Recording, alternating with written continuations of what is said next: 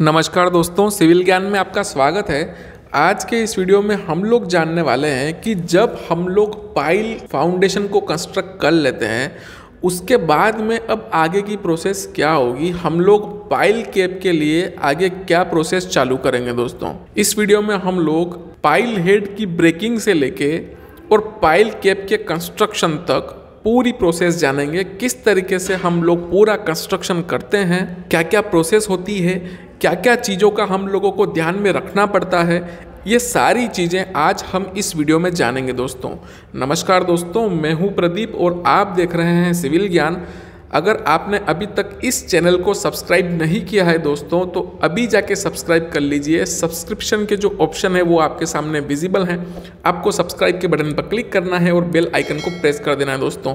और हाँ इस वीडियो को लाइक करना ना भूले दोस्तों, और अपने दोस्तों के साथ में शेयर कीजिए। और अगर आपको ये वीडियो पसंद आता है तो इस चैनल को, अपने दोस्तों को भी रिकमेंड कीजिए, ताकि वो भी सब्सक्राइब कर सकें।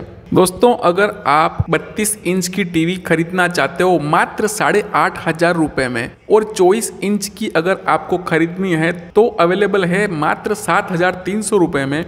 डिस्क्रिप्शन में दिए गए लिंक पर क्लिक करें और रिव्यू भी देखें, और वहाँ से अगर आपको पसंद आती है तो आप लोग परचेस कर लें। दोस्तों, ये ध्यान रखें कि जब भी आप लोग परचेस करें तो इसी लिंक पे क्लिक करके ही परचेस करें। तो दोस्तों, जब हम लोग पाइल फाउंडेशन का कंस्ट्रक्शन कर लेते हैं। तो उसके बाद में अब हम लोगों को कट ऑफ़ लेवल पे पहुँचना रहता है। जो भी हमारा ड्राइंग में लेवल दिया हुआ रहता है, हमको जिस लेवल पे पीसीसी करनी रहती है, उस लेवल तक हम लोग फिर एक्सकेवेशन करते हैं। एक्सकेवेशन करने के बाद में हम लोग जो भी पाइल हेड्स निकलते हैं, अब देखिए क्या होता है कि हम लोग तो ग्राउंड लेवल पे जो भी हमारे पास में ग्राउंड अवेलेबल होता है, उस लेवल तक हम लोग पाइल फाउंडेशन को कर देते हैं। लेकिन अब उसके बाद में जब हम लोगों को पीसीसी लेवल पे या फिर फाउंडिंग लेवल पे अगर हम लोगों को पहुँचना रहता है तो उसके लिए हम लोग एक्सकेवेशन करते हैं। अब एक्सकेवेशन करने के बाद में जो भी हमारा लेवल मिल जाता है, वहाँ पे हम लोग रुक जाते हैं। ठीक है, अब उसके बाद में हम लोग जो पाइल हेड्स रहते हैं मतलब जो पाइल के ऊपर वाले मुँह रहते हैं, जितने भी, उन सबको हम लोग कट ऑफ़ लेवल तक तोड़ते हैं। तो उसके लिए बहुत सारे तरीके हैं, बहुत सारे तरीके यूज़ होते हैं, जिनसे हम लोग पाइल को ब्रेक करते हैं, बहुत तरह की मॉडर्न मशीनें हैं। कहीं कहीं पे तो हम लोग राउंड हाइड्रोलिक इक्विपमेंट होता है, उसको यूज़ करते हैं। कहीं कहीं पे रोबोट मशीन्स होती हैं और कहीं कहीं पे हम लोग न्यूमेटिक ब्रेकर्स यूज़ कर सकते हैं। ठीक है ना? बहुत सारे तरीके हैं जिनसे आप लोग पाइल को ब्रेक कर सकते हो।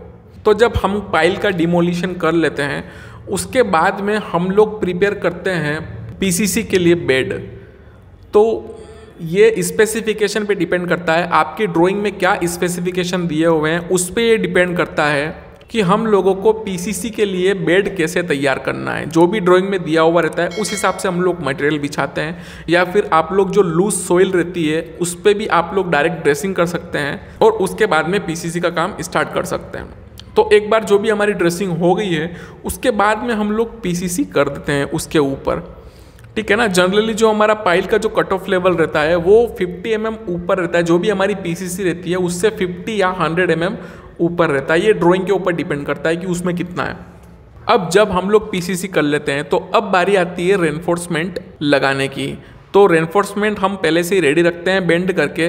तो उसको अब लगाना रहता है तो हम लोग बॉटम का रेनफोर्समेंट बिछाते हैं। उसके बाद में हम लोग टॉप का एनफोर्समेंट बिछाते हैं। नीचे में जो भी कवर ब्लॉक देना रहता है, हमको जो भी कवर दिया हुआ है ड्राइंग में, वो हम लोग अडोप्ट करते हैं और पूरे रेनफोर्समेंट को हम लोग फिक्स कर देते हैं। जो भी हमारा केस हो, चाहे वो अबटमेंट का केस हो, चाहे कोई पियर हो तो उसको उस हिसाब से हम लोग स्टील को फिक्स कर देते हैं और उसके बाद में हम लोग एक बार स्टील फिक्स होने के बाद में फिर हम लोग उसकी शटरिंग लगाना चालू करते हैं।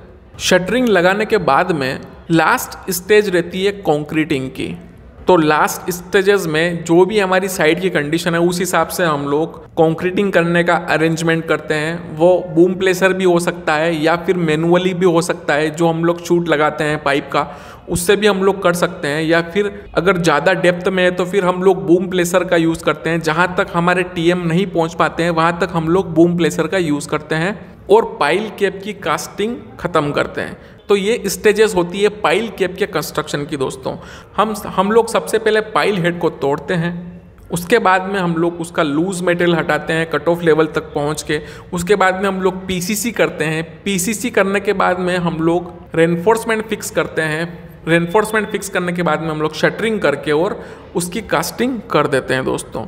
तो उम्मीद करता हूँ दोस्तों कि आपको ये वीडियो पसंद आया होगा। पसंद आया हो दोस्तों तो लाइक कर दीजिए इस वीडियो को। अपने दोस्तों के साथ में शेयर कीजिए ताकि वो भी इस वीडियो का आनंद ले सकें और देखते रहिए सिविल ज्ञान।